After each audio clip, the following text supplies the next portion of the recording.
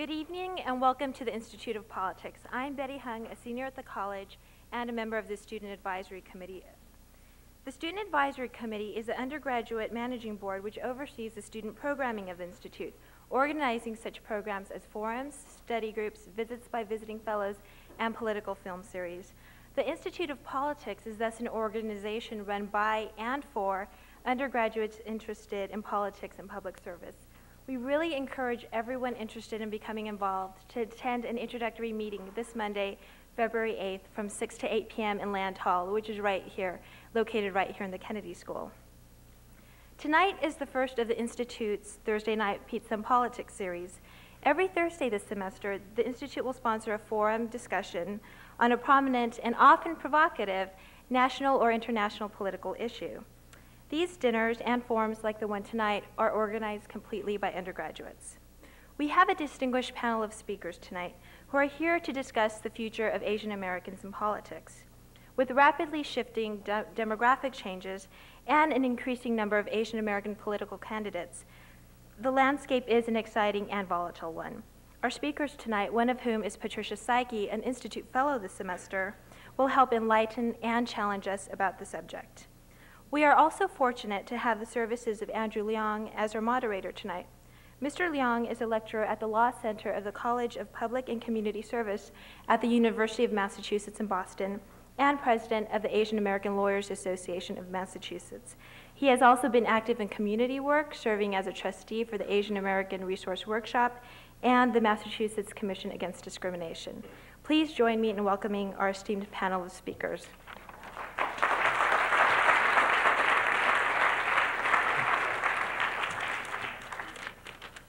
Thank you, Betty. Um, as Betty had aptly mentioned, the, the theme for tonight's discussion towards a new diversity, the future of Asian Americans in politics, is in fact quite uh, a timely discussion. Um, not only have demographics changed within the last couple of years, obviously most of us have seen, heard of um, Asian American candidates running for many different types of offices throughout the country. And um, especially relevant for tonight's discussion are all the different presidential appointments um, that's, that's been happening left and right, especially with um, the Clinton administration uh, claiming uh, it's going to be an administration made up of um, uh, the diversity that is America. So I'm hoping that later on, uh, during the question and answer session, some of your questions will in fact reflect some of these issues uh, that's happening right now. Our first speaker tonight, uh, Tony Lam, unfortunately is still in the air right now. Um, we're hoping that he'll be able to join us possibly um, at the end of uh, tonight um, hopefully at the reception to follow right after. Uh, but with us uh, is a representative from Tony. Um, but let me go ahead and um, introduce, give you a little background information about Tony first. Tony, Tony Lam is the councilman for Westminster City Council in the city of Westminster, California. He is um, a Vietnamese refugee. He came to the United States in the April of 1975, which, which makes uh, you know, the, the, fact that he was elected uh, such a very substantial uh, affair. He was, in fact, a volunteer refugee camp manager when they were in Philippines and Guam, and uh, he was a refugee coordinator uh, in Camp Pendleton. And since then, in 1975, he has settled in California. Um, he's been the president of the Vien Dong Restaurants Corporation. He's a trustee of Humana Hospital, uh, goodwill liaison to the Westminster Police Department, commissioner on the Orange County Protocol Commission, a former member of the Westminster Cultural Arts Council, uh, he was a recipient of the award for being the Outstanding Community Leadership, uh, Outstanding Businessman of the Year. So you can see that, you know, this is a quite active person. Uh, and Unfortunately, he's not going to be making a formal address, but Tony's representative, uh, Ryan Hubris, is with us uh, and will be reading off the prepared script. Uh, Ryan is the former campaign manager and chief of staff for Tony. He is currently at USC uh, getting, working on his MPA in intergovernmental management. He has worked in the, um, let's see, was it San Francisco City Council? The San Jose, I'm sorry. The LA Board of Supervisors, the California Assembly, and the California Senate. Uh, Ryan is currently doing some work on legislative reform that will affect 13, 11 to 13 public hearings um, over the next two years. So with that, if you would welcome uh, Ryan Hubris, who will be speaking for Tony Lam tonight.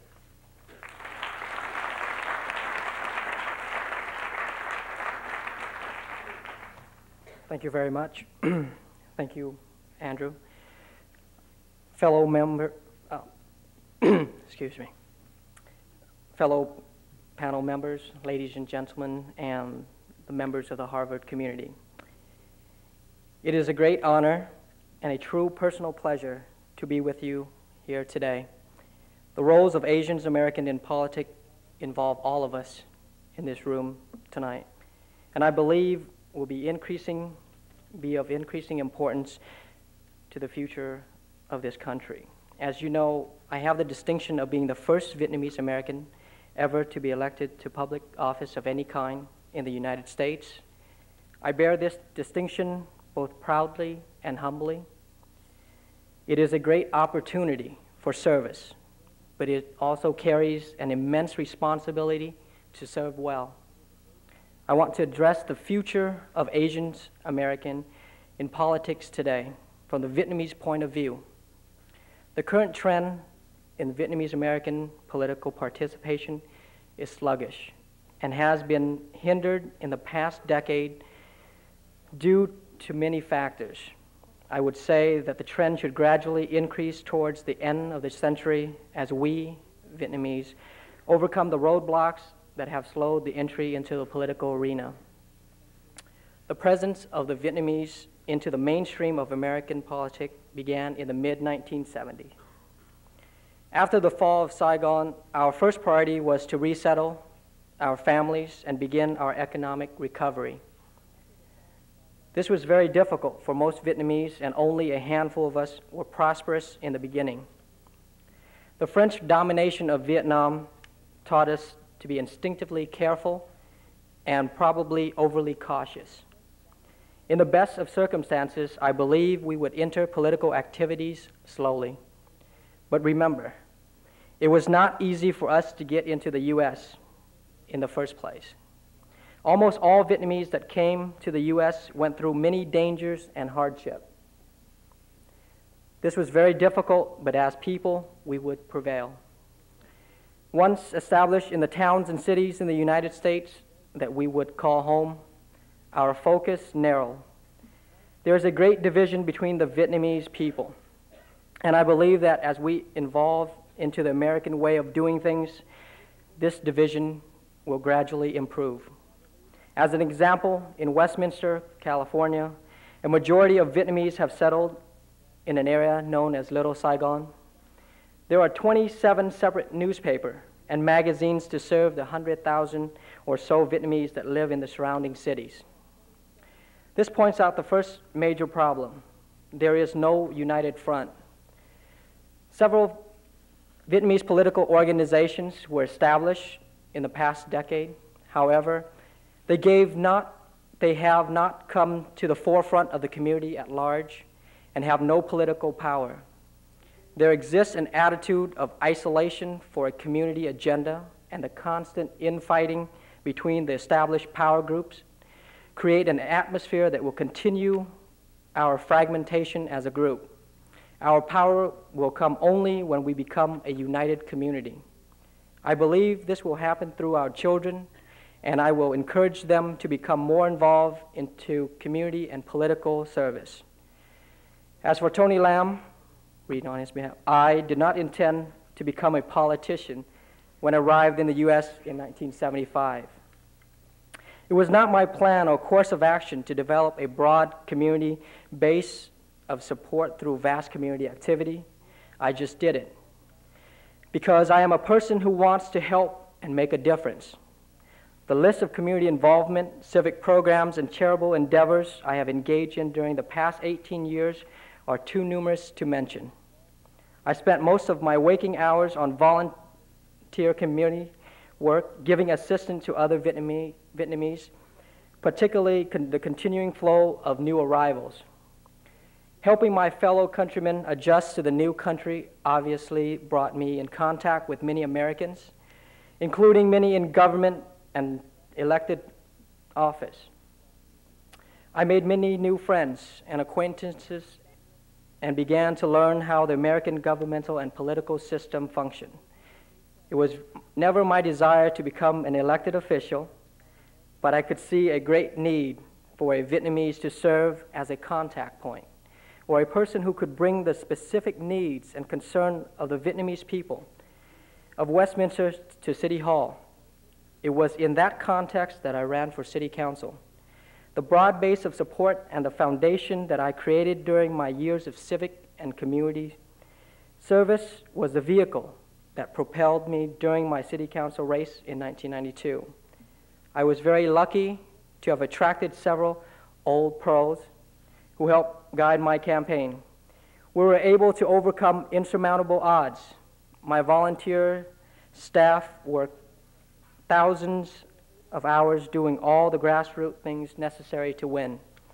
In fact, on the Thursday before the election day, it was raining very hard, and as I was not and I was not going to walk precincts that were on the schedule for the day. One of these old pros said to me, Come on, Tony, let's go pre- walk precincts.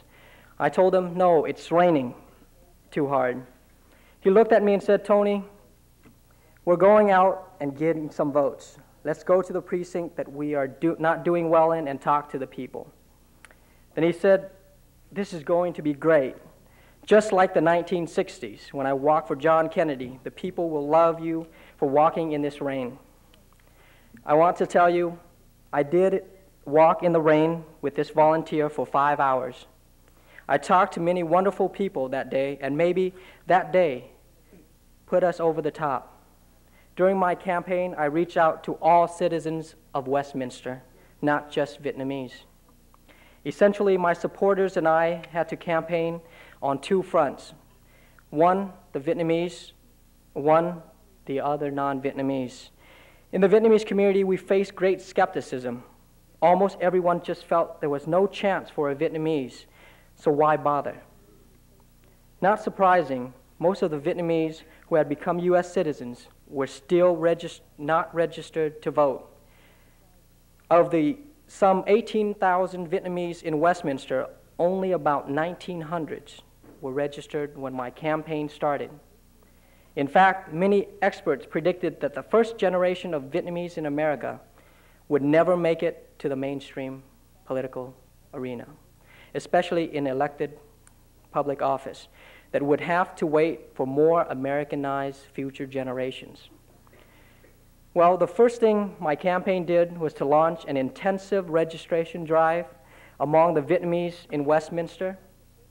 This effort was not just to register more potentially favorable, favorable voters, but also to educate the Vietnamese citizens about their responsibilities as citizens and the importance of participating in the American free election process.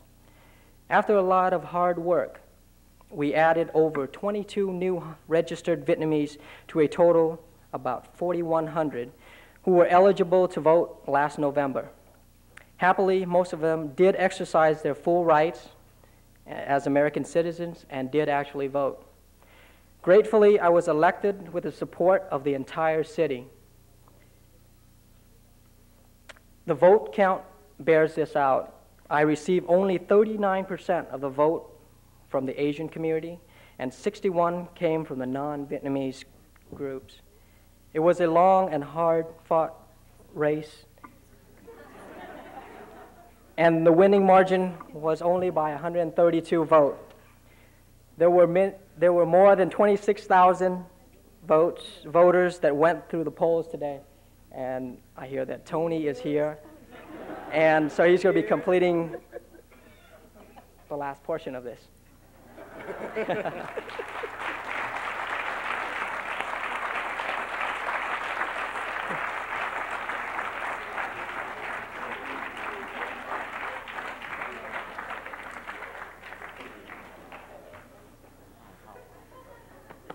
Mày bác chỉ cần đọc ở đây nữa nè. Ok.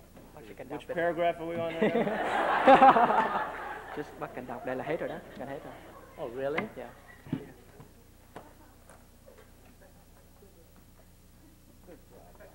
It's really been a hectic night for me.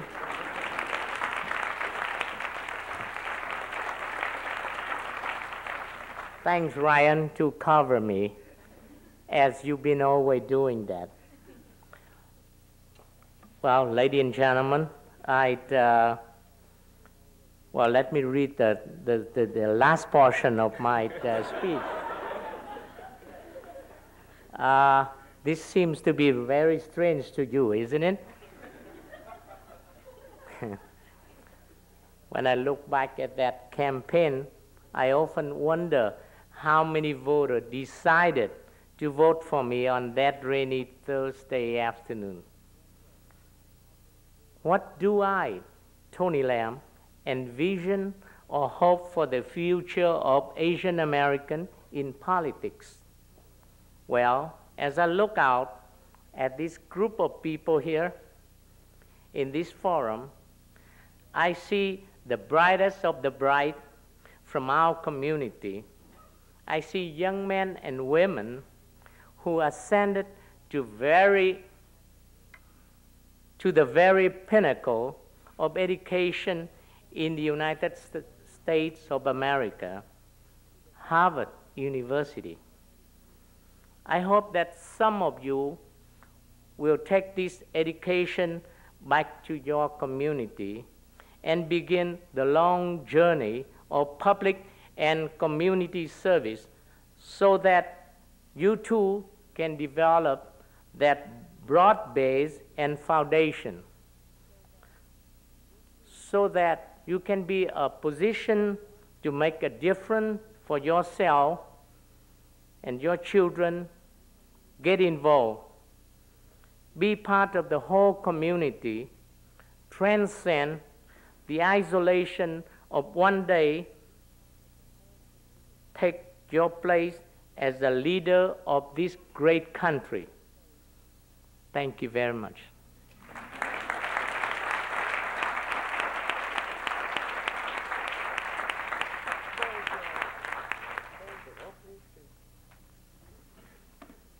Thank you, Tony and Ryan. I, I have to mention that Ryan is also Vietnamese American and is, is only 23 years old, even though he was uh, reading most of uh, the speech today. I'm sure that one of these days he'll probably come back and read his own speech. Our next speaker for tonight is Gloria Mahino Ochoa.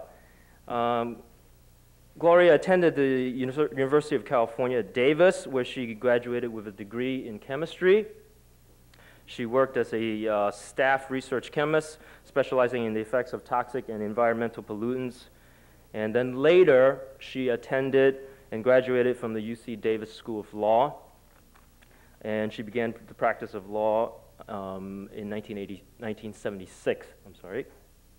Um, Gloria's career in public services included uh, the counsel to the California Senate Judiciary Committee, assistant secretary for housing in the California Business, Transportation, and Housing Agency, public advisor to the California Energy Resources, Conservation and Development Commission, and she was a member of the California State Board of Dental Examiners. Gloria was elected to the Board of Supervisors of Santa Barbara County in June of 1988. As the first district supervisor, she has represented the city of uh, Carpinteria. I think I killed the name of that. It's all right. What, what, what was that? Carpinteria. Carpinteria, okay. And the communities of Summerland, Montecito, and portions of the city of Santa Barbara. Since her election, Gloria has served on the Joint Legislative Committee on the Changing Family, the State Affordable Housing Task Force, and the CSUS Statewide Growth Management Task Force. She is currently the chair of the Housing, Land Use, and Transportation Committee of, this, of the California State Association of Counties and a member of the Board of Directors of the Local Government Commission.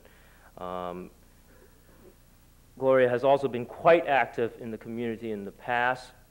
Uh, she has received um, numerous awards, as I, as, I can see here, which you know we'll probably take the rest of tonight to read off of, um, but many different public service awards, uh, including one from the Asian Pacific American Legal Center of Los Angeles, which you know when, whenever you talk about legal services is always dear to my heart. So um, let us all welcome Gloria Mahino Ochoa.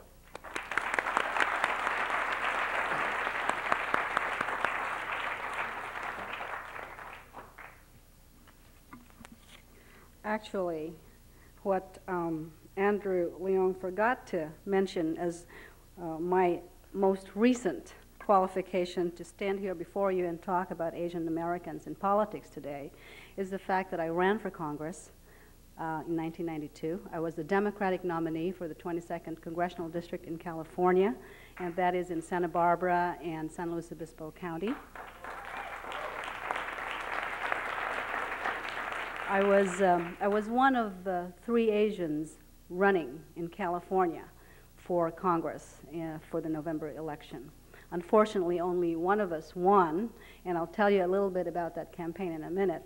But I wanted to um, welcome Tony Lam. That was a grand entrance, if I ever saw one. And I think it's a great campaign trick, you see, to send your campaign manager first to speak and get everybody all riled up and then come in and make the grand entrance. So that was great. I'll remember it in my next campaign. Um, we're here to talk about Asian Americans in politics and the future of Asian Americans in politics in the United States. And I'm really glad to see so many of you out here to, to uh, talk about this because it is an issue that is very, very hot right now in Washington, D.C.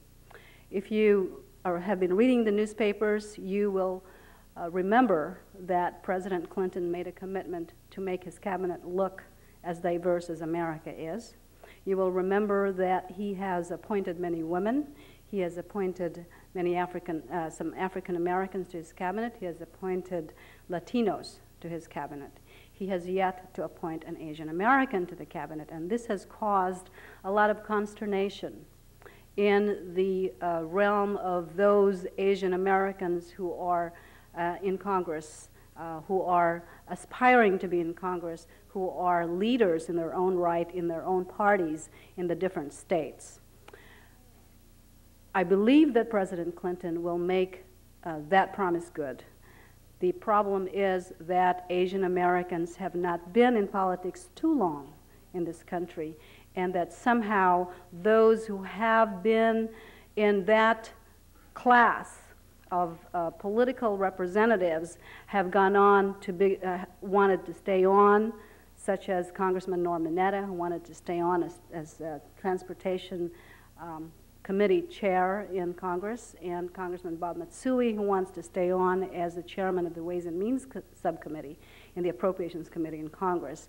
And so the rest of us, and, and Pat, of course, uh, Pat Saiki is, of course, a fellow here at Harvard, and Patsy Mink is still in Congress. And so there is, what, what the point is that I want to make is that there are not that many of us out there that have had the experience and the quality of experience that somehow is necessary in order to make it to the top levels of government.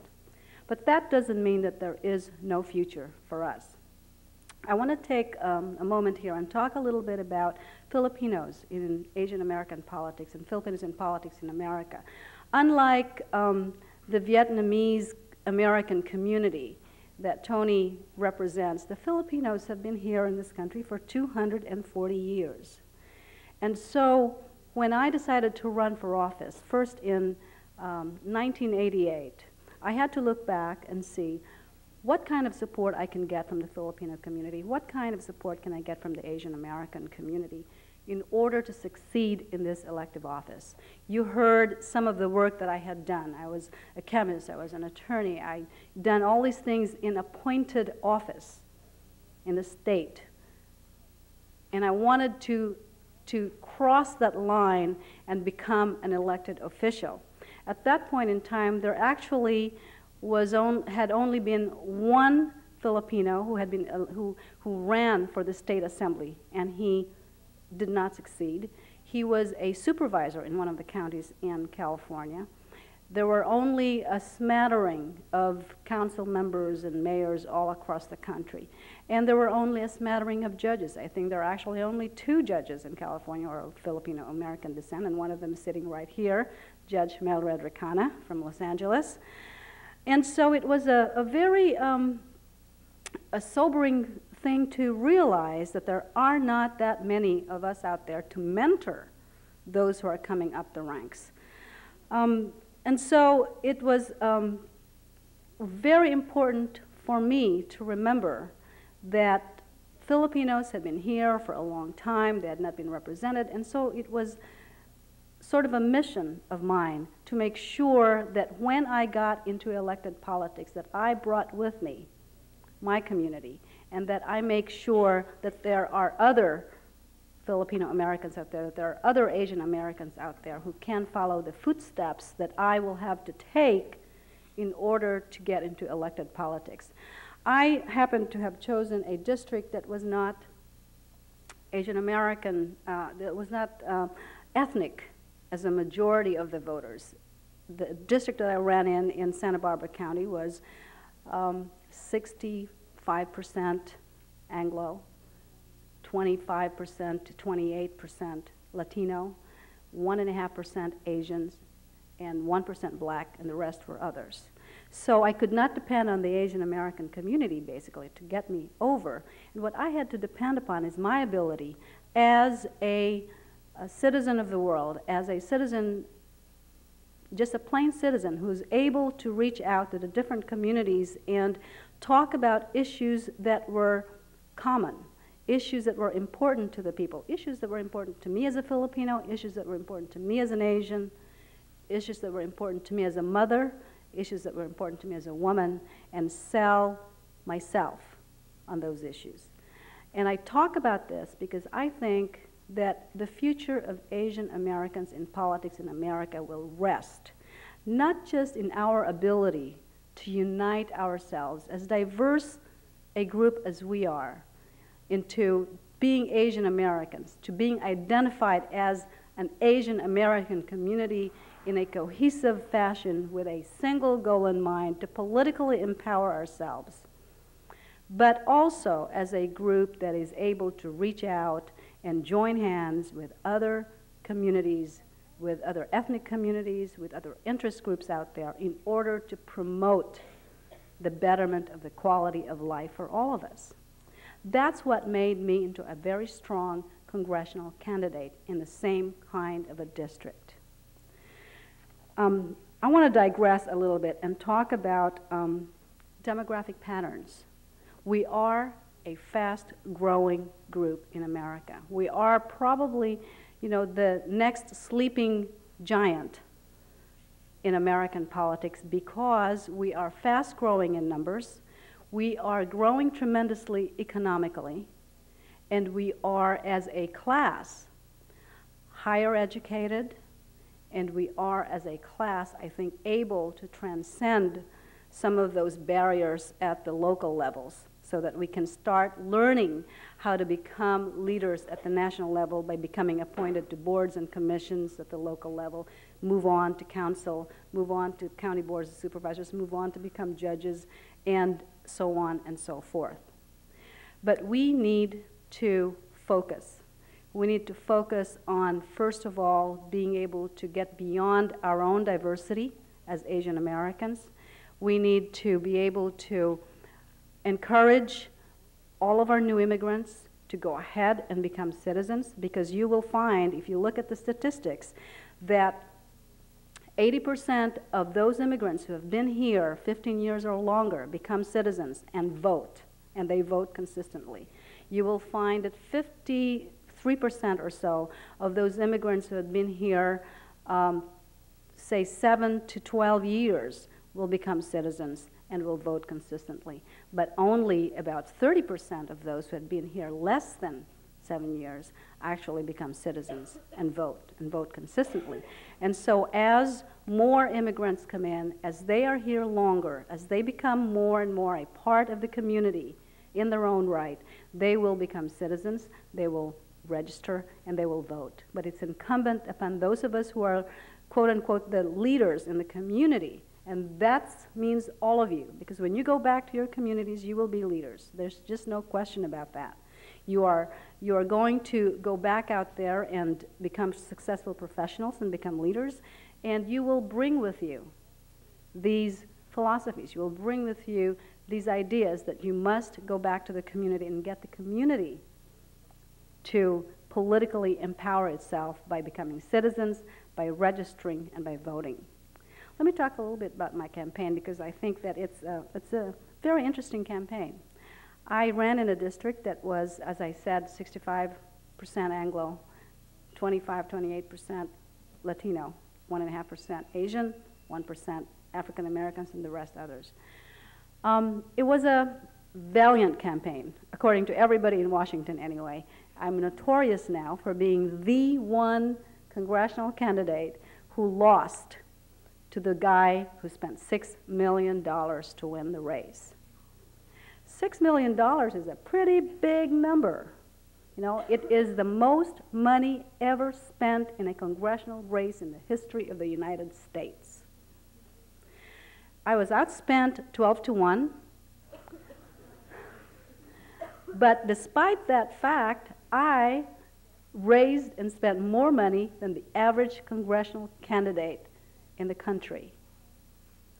Most of that money I raised from little people. I raised from Asian Americans, from Latinos, from African Americans, from women. Most of that money I raised not in the big contributor way, like some people, some, some Asian Americans have learned to give to the parties of their choice. They've learned to give large sums of money to candidates of their choice.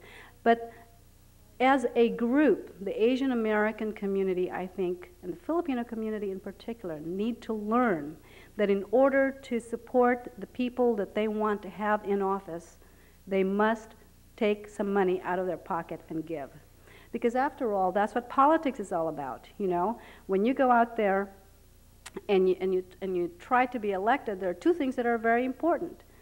You either have the votes or you have the money in order to reach the voters. And so when you are a community trying to exercise your political clout, you want to make sure that the candidates know that you have the votes or you have the money. That's something that we have to learn as a group, that we are very strong economically, that we can support candidates and issues, not just with our votes, but also with our economic power. As a sleeping giant, I think we really are much bigger than what they uh, have said us to be. The future of Asian Americans in politics rests in your hands. Running for office is a very difficult thing to do. It requires a tremendous amount of sacrifice, and I will guarantee you the story that was told today by Tony about going out there and walking in the rain for five hours is just one little vignette. The campaign is a whole series vignettes just like that, of staying up 20, 22 hours a day, driving long distances, missing out on your dinner and your lunch and your breakfast, and then stuffing yourself with rubber chickens night after night after night for a week in a row, not being able to see your children, losing the time to practice your profession.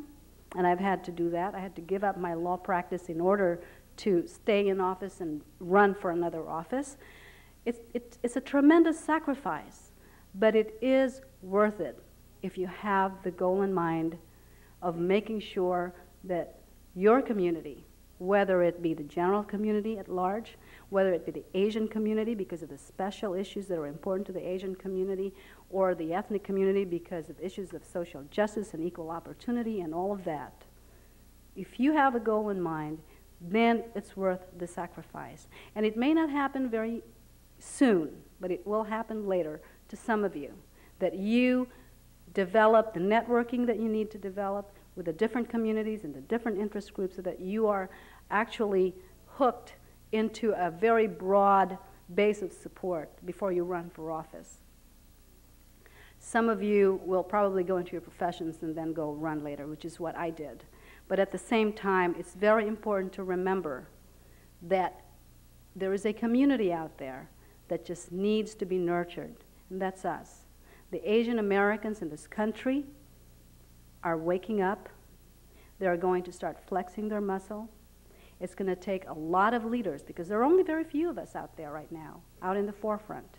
There's Tony for the Vietnamese community. There's myself and, and Judge Recana for the Filipino community and a couple of others. And there's Pat Saiki and Pat and uh, um, Michael Woo for the Chinese American community, Pat Saiki for the, for the Japanese American community. There are very, very few of us. And really, it will take more like yourselves to be involved, and this is great because this is a learning process. And hopefully, before the night is over, we'll be able to exchange more ideas, we'll be able to help you, and you will be able to help us understand what are the problems that we have in terms of communicating with the young Asian Americans that we have in this country. I think, uh, you know, just one last vignette before I close. Last night I was at a, um, um, a dinner in Los Angeles honoring one of the um, uh, more honored writers of Filipino descent, P.C. Morantte. He was lecturing at UCLA, and one of the guests was a woman who was trying to put together a Filipino American Studies course at UCLA. And she talked about this groundswell of support by Filipino American students who had this need to know more about what went on in the Filipino American community from day one when the Filipinos first got to Louisiana through Mexico and what happened with Filipinos in the realm of culture and art and music and politics over all these years. The same thing is going on in every other Asian American community. The young people are yearning to learn more about their community, because they want to know what role they can play in the future and how they can play it out. And those of us that are out there now, running for office, speaking out at forums like this, have the obligation to tell it like it is. It's not going to be easy, but it can be done. Thank you.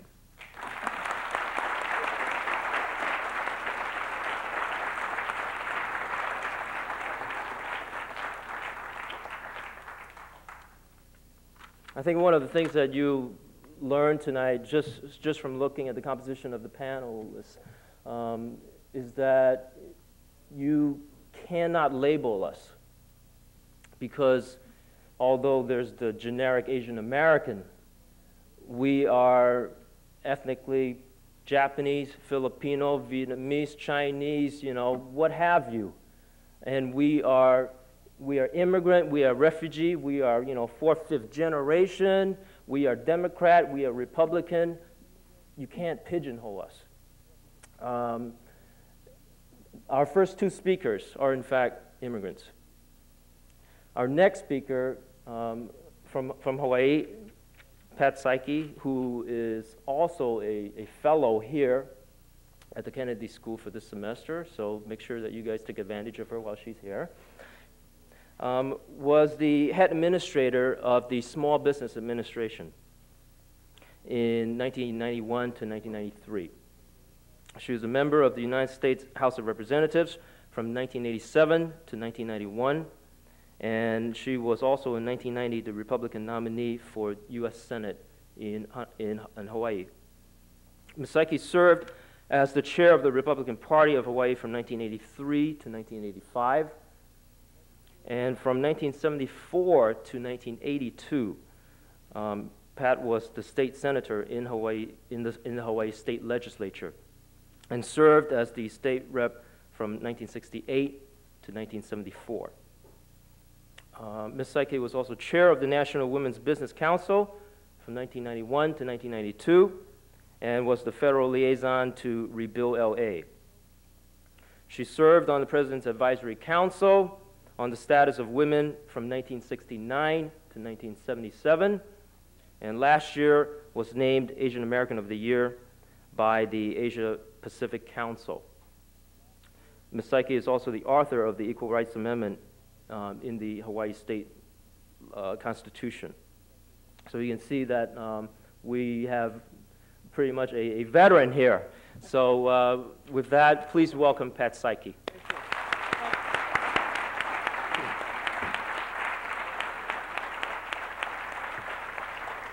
Thank you very much, and aloha. Aloha. You don't know what to do. you haven't been to Hawaii? We haven't trained you right.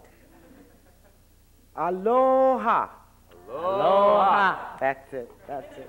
I have to always plug my state because I know that you're all going to be visiting it one of these days and bring all your money. we need it in Hawaii.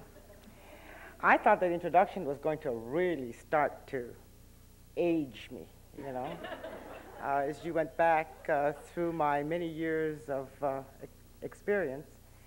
And I must say that I have truly gained an awful lot through politics, because it is politics that makes our country hum. It is politics that decides what is the future of the world. And to participate in it is truly a gift because it is the people who are your constituents who elect you and allow you to serve. And so you are truly a public servant. And I have cherished that and respected it for all of the years that I have been involved. As an Asian American, of course, I'm very proud to have a rich heritage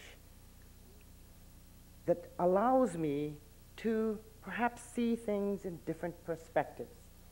But then you Irish people do the same thing. And uh, the blacks do the same thing. Where is Lee Daniels? Is he still here? He's, where are you? Is, is he up there now? Okay, let's hear, let's see a wave. He's a fellow institute fellow. And he's going to have a very provocative study group, so I want you all to go and take advantage uh, of Lee's expertise. But I'd like to share a few facts with you. Asian Americans number approximately 7.3 million people in the United States of America, which is about 3% of the total population of the United States. But Asian Americans own more than 4% of all United States businesses. In fact, between 1982 and 87, the number of Asian owned firms in America increased 89% to a total of 355,000 businesses. The number of workers these firms employed more than doubled during this period, and the annual receipts of these businesses skyrocketed an incredible 161% to total 33 billion dollars, making Asian American owned businesses the fastest growing sector in all of the United States. Now, besides all of this, then, Asian Americans have historically enjoyed a much higher level of success than other racial and ethnic minority groups, so say the minority business magazines. They continue to say that more than other minorities, Asian owners have developed strong support networks. We call it social capital, which provide both formal and informal support through such functions as positive role modeling, training, and experience.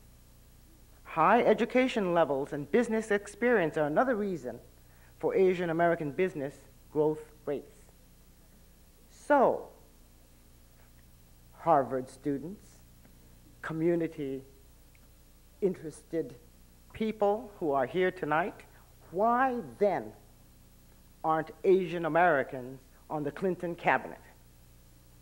Now, I'm going to respectfully, because she's a good friend of mine, after tonight, she's a great friend, Gloria, I'm going to respectfully disagree with Gloria that you have to have an, we have such a small pool of experienced people that Mr. Clinton could not appoint an Asian American to the cabinet.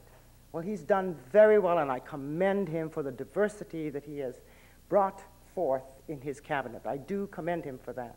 And there are an unusual number of blacks as well as Hispanics as well as women, but no Asian Americans. And to say that because the pool of experienced people is so limited that he couldn't make that appointment is to me the same excuse we used for many years against the blacks. And so I say that I hope that heretofore the president will give consideration to naming people like Gloria. She's experienced, she's very qualified. You don't have to take a member of Congress. I served there for two terms. you don't necessarily have to take a member of Congress and elevate that person to the cabinet. You've got a lot of marvelous, talented people out there in the community who can serve just as well. And I ask you, with all of these great successes that Asian Americans are supposed to have, as far as the business world is concerned, and social and educational development, why is it that some major universities keep attempting to set quotas for the restriction of Asian American enrollments? Of course, I leave out Harvard. I've already talked to the dean. we had lunch together. Yes, we did.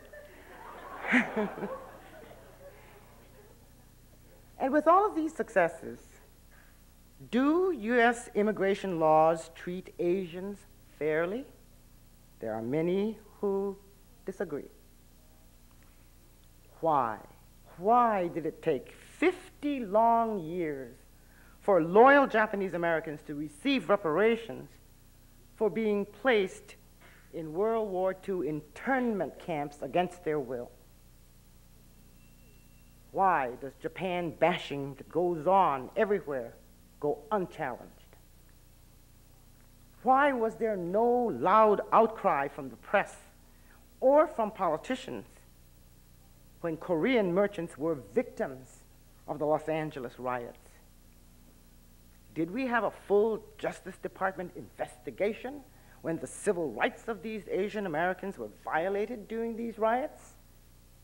The answer is no.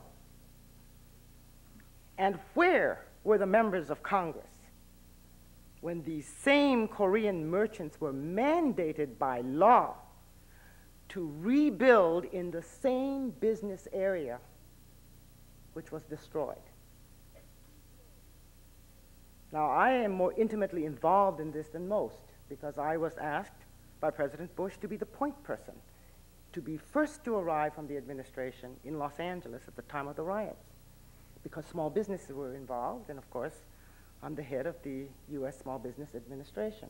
Worked very closely with Mayor Bradley and with Governor Pete Wilson, viewed the damage, saw the kind of devastation that occurred, and not just among the buildings and the uh, material things, it's an emotional kind of hurt that occurred in those Korean merchants.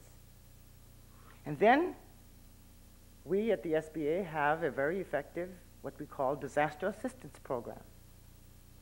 Never before was the SBA directed by law to force people who needed loans to rebuild in the same area.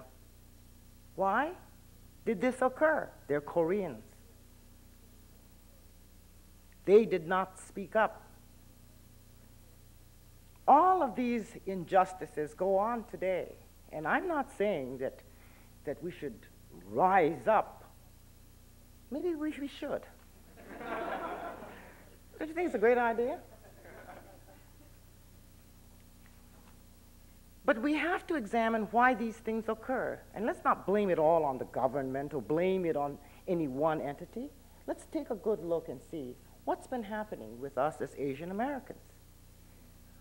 We have our nice groups, don't we? We have the Chinese American Chamber of Commerce and the Japanese American Citizens League and the Korean Merchants Association, and we've got the Filipino Chamber of Commerce, and we've got all of these diverse groups, and each of us meets individually because we're bound together culturally and educationally. And I think that's honorable. I think that's marvelous because we are each sharing with each other what we want to retain of what is our heritage.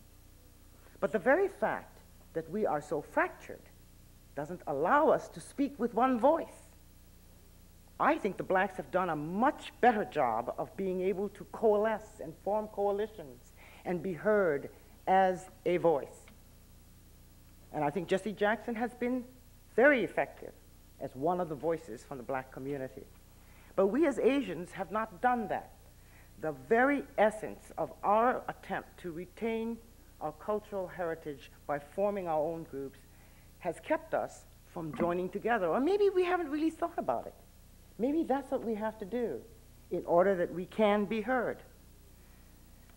Then let's look at public perceptions. What are the public perceptions of Asians?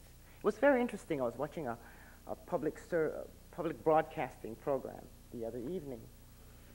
And uh, the fact was presented that TV programs hereafter have to have appeal to the black community because it is a fact that the average black family watches TV 70 hours per week. Everyone else will range between 40 and 50, per, for, uh, 40 and 50 hours a week.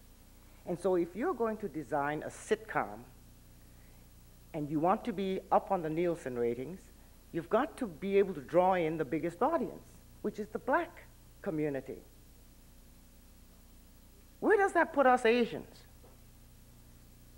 You know, it just is not the kind of, of uh, image that is being properly created of, a, of Asians on TV that gets us to be acceptable to the rest of the community.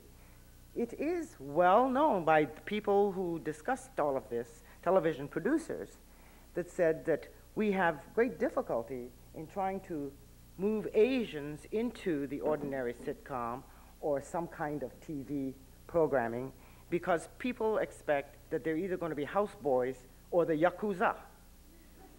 You know, they're either mobsters or criminals or uh, and this is their this is the image. And this lends to people looking at asians as foreigners.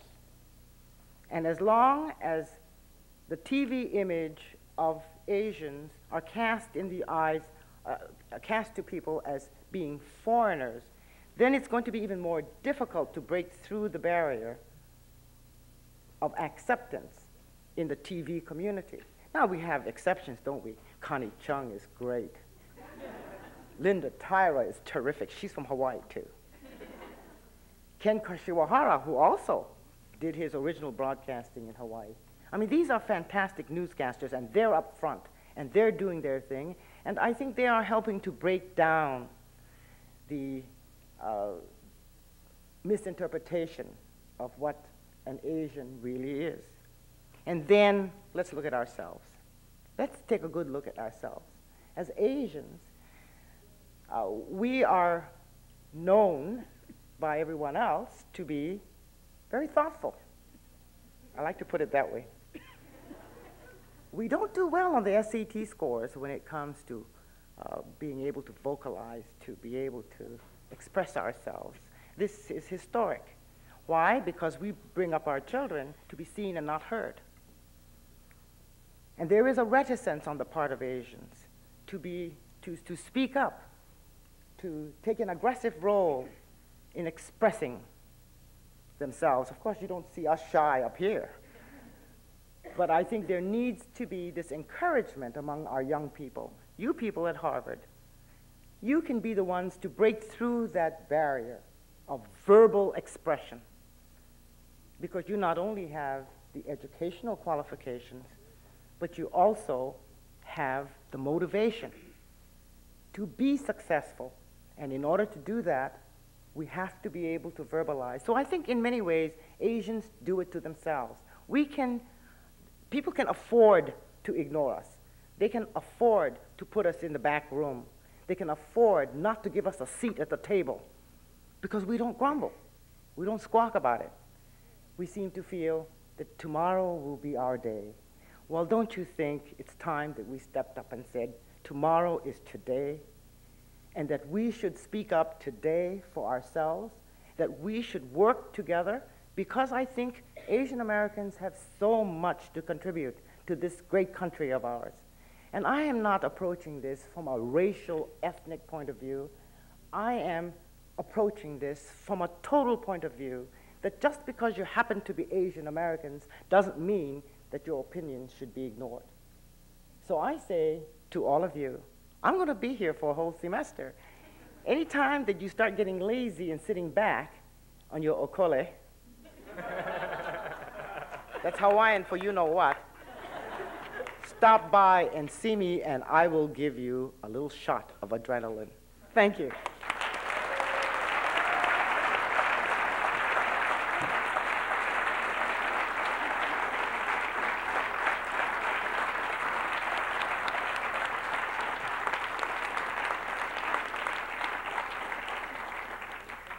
Um, before we start the, the question and answer session, I just want to make sure that people know that, you know, the microphones are over there.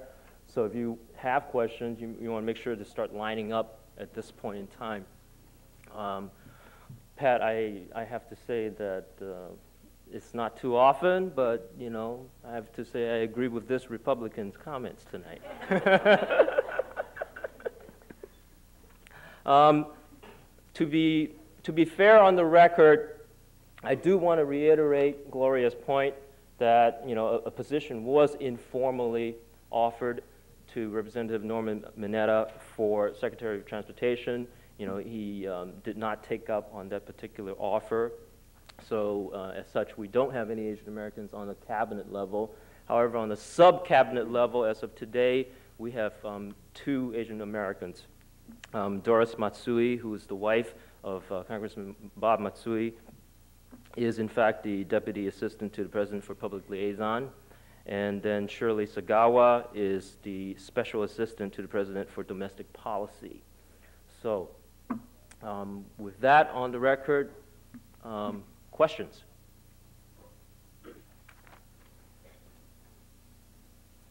Um, Gloria, in your opening comments, you alluded to the one Asian who won a seat in Congress. And I'd like to ask you, um, what were the key elements that uh, gave Jay Kim his victory? Money. well, um, I believe that that had a lot to do with it, um, obviously. Also, he ran in a Republican district. And he, you know, being a Republican and there not having been a very strong, I guess, Democrat challenge there, he, he made it. And I think it's great because the more Asian Americans in a, invisible positions, the better. Um, I, I, talked a little bit about my campaign because um, I wanted to get into the financing, campaign financing, as a real uh, challenge to Asian Americans who are thinking of running for office. It's a, because of the number of businesses, Asian American businesses that are in this country, you would think, and the number of Asian American people in this country already, you would think that if every Asian American gave a dollar to a big PAC, for example, that gave only to Asian American candidates or supported Asian American issues, with 7.3 million Asian Americans giving a dollar, you'd have 7.3 million dollars, right? That's easy. Well, the truth of the matter is that there are probably a handful, maybe, you know, a couple of handfuls of Asian Americans who give large sums of money to, one, to um, either party and maybe another couple of handfuls who are large contributors to individuals, you know, uh, to support the candidates or issues. But not that many Asian Americans really give in small amounts consistently to support candidates and issues. And it's something that we need to teach our community. The Filipino community, for example, is one community that I reached out to very strongly in my campaign because I'm from the Philippines. And again, here we go again. Here the, there's the regionalism. I mean, the, the, ethnic, the ethnicities breaking down, you know, within the Asian American community, and, and each one of us going first into our community and going to the larger Asian American community. Um, it, it was a very difficult thing to reach out to each and every Filipino American to give to the campaign. People don't seem to understand that there is a connection somehow between their support of, of, of um, uh, elections, of, of politicians, of candidates, and what they get back in terms of the quality of the legislation that gets passed or the issues that the political leaders deal with. And somehow that needs to be translated. For example, the hardest people to reach were the professionals, the doctors, and even the lawyers. You know, and I'm an attorney they were hard to reach because somehow they felt that if they practice their profession, they're, they, they, they are they're very competent in their profession. They don't think that politics has anything to do with what they do professionally. And yet, they realize afterwards that somehow the legislation that gets passed in the healthcare system, for example, affects their practice. But they were hard to reach. I, that's one thing we need to really develop is the financing of our candidates and issues. Okay, if you don't mind me following up on the money point, you say that's how Jay Kim won. Um, he didn't come from an Asian American district. Um, That's right. How did he get the money to break out of the Republican primary pack? Well, you don't need to just collect money from your district, you know. Um, for example, again, I- I will use my campaign because I'm very familiar with the way I tried to raise money. I went all over the country reaching out to Asian Americans and Filipino communities because I knew that if I just tried to raise money within my own district, which was only, you know, one and a half percent Asian, I, I couldn't raise enough money to run the campaign. So I had to reach out to the, to the rest of the Asian American community all over. And what happened there is that as you do that, you spend less time in your district campaigning. And so we need to teach our Asian American communities to give to their candidates so that the candidates, the Asian American candidates who are running, can run in the district and not have to travel all over the country running a national campaign for a district election. Beyond that particular lesson, I think, you know, some of you know this already. You know, statistically, insofar as ethnic groups are concerned, Asian Americans are the be, be, behind the Jewish group. Asian Americans are the highest insofar as national giving Given. To political campaigns. Okay, but the lesson that we also need to tell our people is that you know don't just give the money, demand something back for those dollars. You know what, what do we what do we get out of it? You know we'll get a little, nice little picture with Clinton here, or you know with Bush, or so forth and so on. But we don't. You know I guess it's still that Asian mentality in us. We don't want to demand. We don't want to ask for something in return for those dollars. Hi, I have a question to all three of the panelists about the concept of Asian American. And I'm originally from Sri Lanka. And I was wondering, first of all, whether how inclusive you think that label is. Asian American, whether it includes people from the subcontinent, India, Bangladesh, Pakistan, Sri Lanka. And the second question, I think you're right. I think a lot of people really feel and tie much more so to their own nation, national identity group than Asian American. You all mentioned it. But what specifically can we do to try and bring that, those groups together and coalesce them into an Asian American group? Go ahead, Tony. Go ahead, Tony. Go ahead. After you. After me. You came in. After you, lady. Well, let me talk from the perspective of California. We try to be all inclusive, obviously, in California about what an Asian American is. We are Asian American, uh, our Asian Pacific American Pacific Islander Democratic Caucus includes everybody. You know, we, we have the nationalities that you mentioned. And I think that to transcend the ethnic boundaries of each of those communities for a common goal is really what's going to unite us. And that is, you know, there are, there, the numbers really aren't there for each of those ethnic groups to be able to exercise political muscle, whether it be by votes or by contributions. And so the more united we are in terms of uh, our goal of you know, promoting Asian American interests uh, throughout the political system, um, the easier it will be. And I think just the need to be together, to bind together for numbers is important. If I can just add a comment to that, uh, where is that gentleman? He's I'll take there. you any day. In as an Asian. As I would take anyone else who may be Asian at heart. I see a lot of blonde haired, blue eyed people here. You may be Asian at heart. You believe that this country of ours, this great country of ours, has to include everyone. And the voices have to be heard. And whether the voices are Chinese, Japanese, Armenian, Jewish, Irish, or Scotch, Scots, right? Scotch is another thing. it's getting late. Uh, I, I think that uh, I think you're looking at a probably a smaller definition of the word Asian, but I agree with uh, Gloria in that we have to be all inclusive, so that I would say all Asians or Asians at heart who feel that it's important for minority groups to be heard, uh, they're welcome. Tony?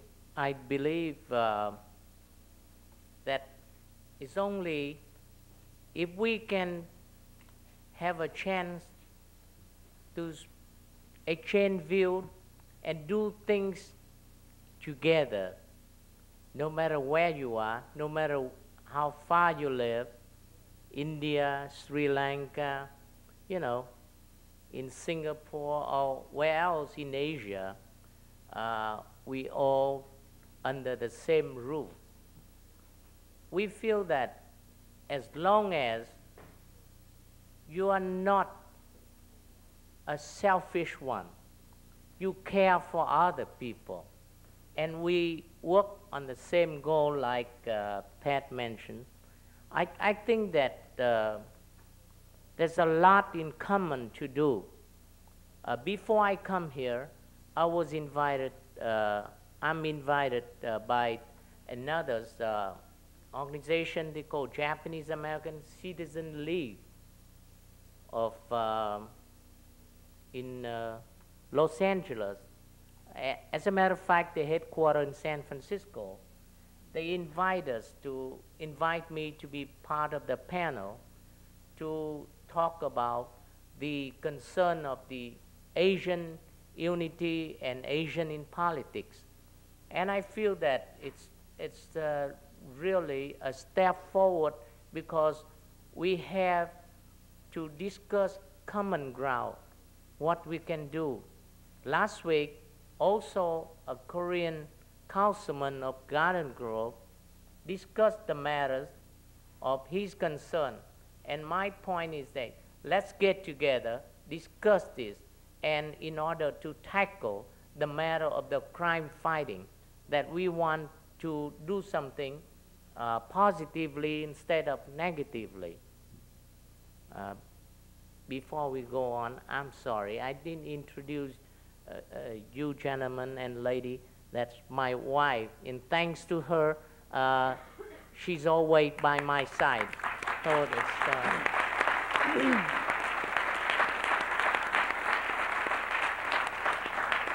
she is the uh, mother of six children, three girls, three boys, and we have two grandchildren.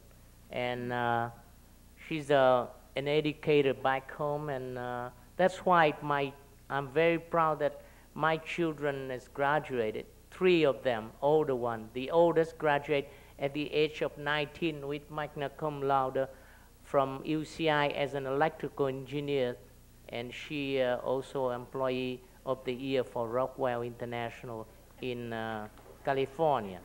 So I'm very proud about the education of my children. Tony, uh, I'm sorry. the rest of your family running for office here? Good evening. Second-year Master's in Public Administration student here, and I have a question. I'd just like to also make a comment uh, about the school. I'm very happy and very proud to be a student here, but unfortunately, one of the things I'm not too proud of is the, the record that the school has on the faculty, or the, the lack of record in hiring. Uh, to my knowledge, they've, they've done they've done a very poor job, uh, especially what, with people of color and Asian Americans. To their credit, they are now. They just announced today that they're looking for tenured and non-tenured positions. So as you go back to your parts of the world, you know, take that message with you, and I'm sure they'll be open to, to input. Um, my question is um, two uh, two-part question, please. One, to the former Congresswoman who I uh, found myself in agreement with. I'm on the other side of the aisle, as they say. But when you were talking about uh, the point that Mr. Choa made about uh, Clinton appointing someone to the cabinet, I, I agree with you, but, and I don't mean this out of disrespect, but what happened to the 12 years previous to that? And I'm not asking out of partisanship, but out, of interest. What, I'd like to know what happened there. And uh, the, other, the other question is, as someone who was born in Cuba and also wonders about Cuban American, when Pat Buchanan was speaking at the Republican convention, he made a point that uh, I took very serious and, and keep in my mind and think about all the time, mostly because I don't have an answer. And he said that they should not be a hyphenated American. And I wonder how, you know, that's, that's an open question. I just wanted to hear from the Asian American side. What was the view on that? Uh, first of all, we had the dean to lunch. We did discuss the uh, seriousness of the situation. We have no tenured Asian American hyphenated uh, professor. Uh, we also expressed our concern that there is no tenured female in the Kennedy School of Government. Uh, Lynn Martin, who is here also as an Institute Fellow, was the Secretary of Labor. Uh, and she and I and Lee Daniels and a whole bunch of us had lunch with the Dean and expressed our concern. Lee Daniels, of course, is black. Uh, and we are a diverse group, and so we expressed our concerns. We were assured that the concerns were well taken. Of course, we leave after a semester, you know, so uh, you all have to sort of keep the fires burning. Uh, I think it's more a matter of um, understanding uh, and acceptance that there needs to be change, and then there will be change. Uh, as far as the uh, Clinton administration is concerned, uh, he is the one that brought up the need for diversity. That doesn't mean that there wasn't a need for diversity for 12 years. I am saying, however, that it was not addressed. It is being addressed today. So now is the chance. Now is the time. The climate is right. And I say that we then, as Asian Americans, mobilize and see what we can do to speak up. I served as one of the highest ranking uh, members of the Bush administration. I was at a sub-cabinet level. I was the administrator of the U.S. Small Business Administration. It was considered one of the more um, higher ranking uh, administration positions. And I enjoyed it very much.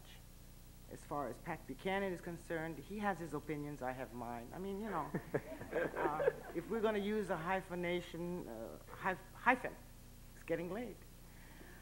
Um, Asian American, Chinese American. I think it's more because we like to define ourselves ethnically because we take great pride in it. Asian American. Um, I think there will be a day when uh, there will be no need for it. But for now, as we are emerging as a group, I believe the hyphen is helpful. We assure everyone that we are not foreigners, we're American.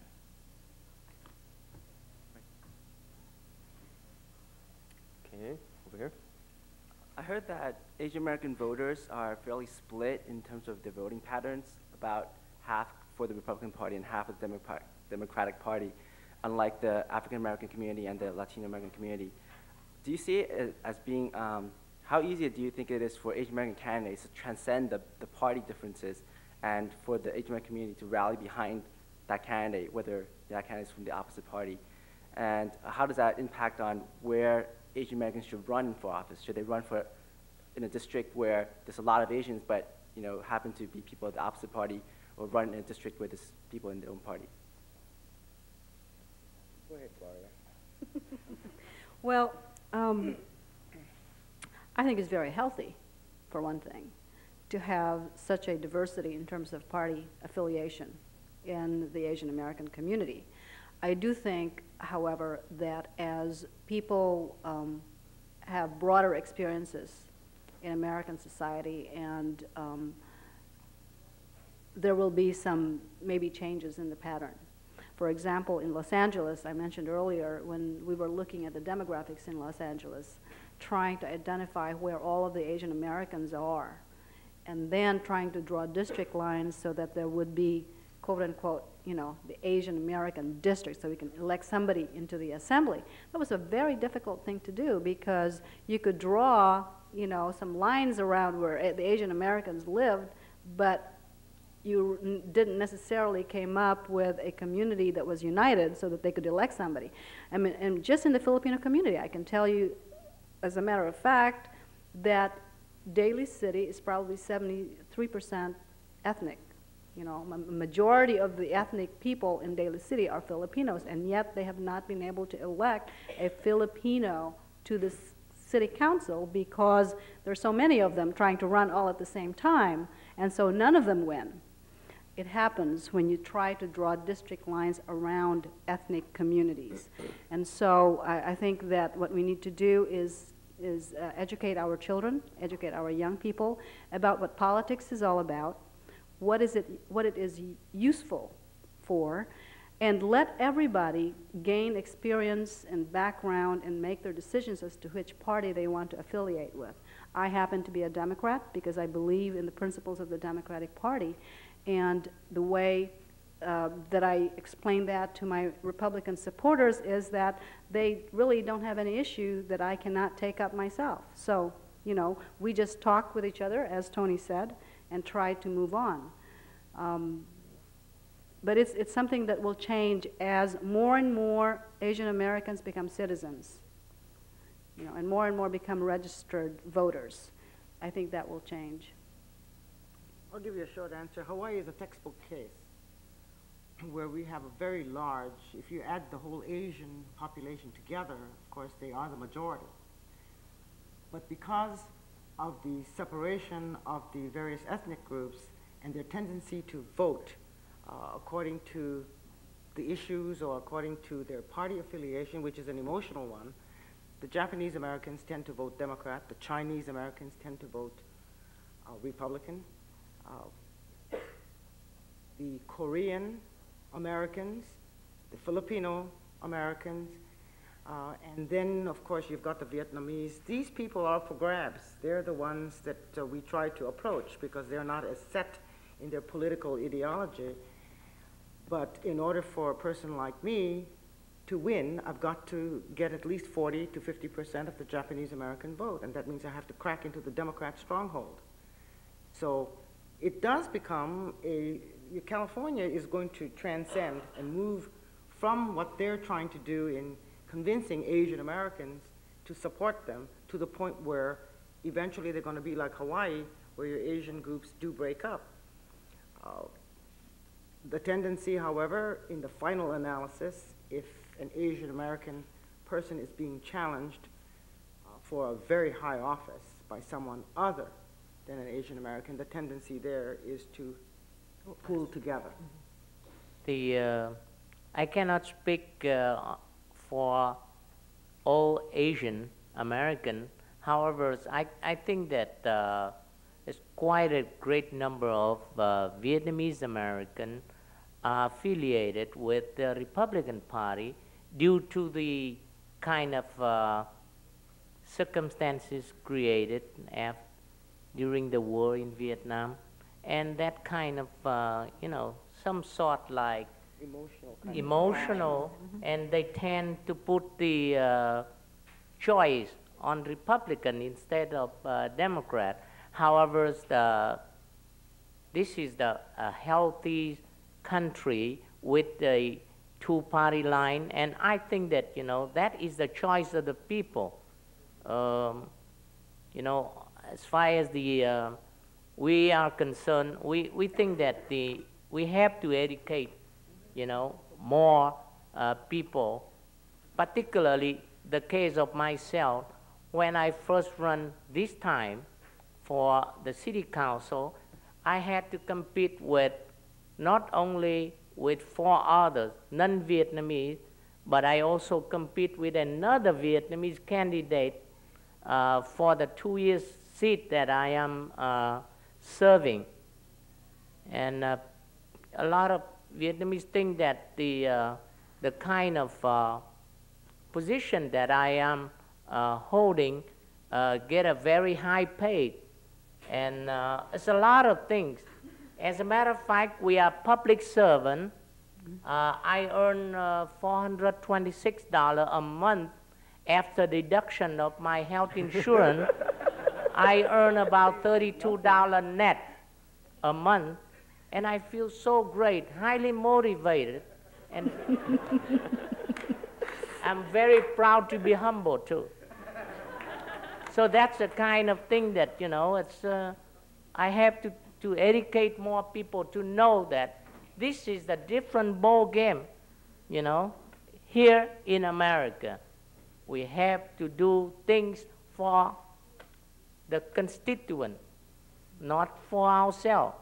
That's the kind of, you know, education that we feel that we have to share with others. Thank you. Don't go into public service if you want to make money. That's the lesson. I just wanted to uh, remind folks that we have roughly a little bit over five minutes left in tonight's discussion, and then afterwards we would proceed behind the stage for a, a, a quick reception. Um, the term Asian American is a nice umbrella term that covers us, but I think that people that aren't Asian American view us as, you know, one block, whereas in fact we are from very distinct communities, the Chinese, Vietnamese, Japanese, and Philippine communities, etc. Do you think that our diversity divides us and prevents us from hiring, uh, from, um, from voting for one representative that can represent us all? Do you think we can rally together, given the fact that we do come from such diverse communities? Well, if you want political clout, you hang together because your numbers are few. Um, of course, the philosophy, the ideology, the uh, stances on issues have to be firm, uh, firmly agreeable to, to everyone involved. I do think that the diversity is wonderful for cultural and educational reasons, but I think for political reasons, it works against us. Okay, over here. Uh, there are obviously barriers to the cultural acceptance of Asian Americans in the United States.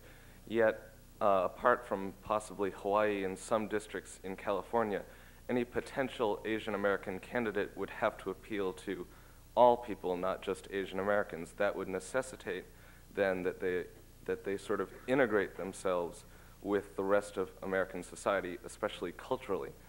To what extent do you believe this necessity of integration actually sacrifices some of the aspects of our original heritage? Do you want to do that? You want to do that first? You go ahead. do After lady first. Well, I don't, I don't really believe that um, integrating into the general community out there necessarily means that you give up your culture. I happen to, uh, you know, I happen to be an immigrant, and I happen to still speak the language that I came here with, and um, I happen to enjoy all of the cultural traditions of the Filipino um, community. I don't think that you really need to do that. I think you really need to know who you are, what you are, why you're doing what you're doing, and who you're doing it for, and there's no problem. For the case of the uh, Vietnamese uh, American, I think that you know uh, you really uh, gone through a very different uh, aspect of it in a lot of sense. Uh, politically, let's take my case at hand. I've been a refugee three times in my life. In 1946, I was 10 years old. I got lost during the war between the French and resistance force, and I was by myself. And then 1954, the country divided into two halves. I moved south the second time as a refugee. The third time, I was evacuated here. I lost practically everything, and that kind of, you know, uh, hurt so much, rebuild the whole things again. It's not like any other immigrant, or maybe a few others in the uh, world nowadays. But the, the Vietnamese particular, I thought that we couldn't have a chance in, within our generation to have any elected official. We thought that we have to wait until the next, the second generation. And I think that, you know, this is marvelous. It's only in America we have the opportunity to really uh, do something that we think that it's very, very meaningful and uh, it showed that. So I, I believe very strongly that we know that we've gone through a lot of cultural differences. However, if we can have the loving care for each other, and we, like uh, Ms. Saiki mentioned, that if we have someone that's strong enough, provide good leadership, and we talk the same language, we could really support that person no matter he is or she is from whatever cultural background, particularly in the Asian community. Let's take one more question. Yeah, um, I think we should learn something from the Jewish Americans. Think about this. The Jewish, okay, the, the Jewish Americans are well educated. So are the uh, Asian Americans. The Jewish Americans are voter too. So are Jewish, uh, so are Asian Americans. The Jewish Americans are also highly intelligent. So are the Asian Americans. Excuse me. Uh, yes, um, but, but the I want to make sure this is a, right. in the form of a question, okay? Right, but, but I do not have a question. I have a small comment. But, the, but if you look at the uh, Jew, uh, Jewish Americans, first of all, they are unified. We are not. Lesson number one. Lesson number two, the Jewish Americans, when in the socialization process, they encourage their children not just to be a businessman or to be a professional, but they encourage them to go to, into politics, to, to be lawyers. Many of us do not do that. We used to go to engineers, science, mathematics, business, laundryman, something like that, whatever. Lesson number two. Now, lesson number three, two, look at Jewish Americans. Two, they, when, when they run for office, they do not just say, well, just look at the Jewish, uh, uh, Jewish American population. They looked at much broader spectrum of the population. But we have been talking about how should we appeal to the Asian Americans. Yeah, we should, but we should go further too because we're only, as someone said, only 3% of the, of the population. How can you compete with someone who might come from a larger percentage of the population in terms of ethnic Any uh, response from the panel on that? Yes, I, I'd like to respond to that because you have hit upon the comparison or the analogy that is absolutely perfect. In other words, it, that's exactly what I'm talking about. The Jewish community has done it. Uh, AIPAC, which is the American Israel Political Action Committee, is one of the most formidable lobby groups in Washington. The Jewish community, however, have different other kinds of Jewish organizations that have to do with culture, education, and they have to do with uh, specific issues that the community may want. But they pull together when there is an issue that they really want to have passed. Numbers count, yes, I grant you, but effectiveness is just as powerful. So that you don't have to be 40% of the population in order to be heard. The blacks make up only 12% of the total population, and they are doing marvelously well in integrating into the community. They've got a long way to go, but politically they are becoming very recognizably strong. Asians make up 3% of the population, but we're a very fast growing area, a fast growing segment of the community. But you see, there has to be this effectiveness, a togetherness, and stances on various issues with which we all agree, and we can be heard. With that as a last word, I would encourage you to uh, stay for the reception. I'm sure that, you know, since there's a lot more questions, you can uh, talk informally with the speakers. Um, Mr. Leung, let me have uh, oh, just an answer a little bit about that gentleman's uh, concern. I think that I, I agree totally. However, you know, that's why this forum created for that effort. And we depend upon all walks of life within the Asian, Asian American community to really forget about where you're from, your cultural differences, and let's stick together and do something with your loving care and don't be as selfish. That, that's my advice is. And I, I depend very entirely on the next generation also to do uh, your, you know, we just are the one that try to pave the road to be one of the first one.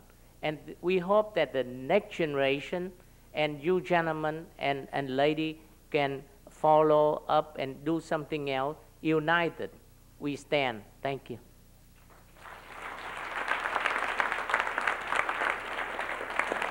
I think um, tonight's discussion have only really begun to touch the tip of the iceberg. Uh, you know, I guess some of the chapters in this history have, you know, been started to be written by some of these authors up here, but I think remain for you all to write the rest of the book. So with that, I uh, want to thank you very much for your attention and thank the panel very much.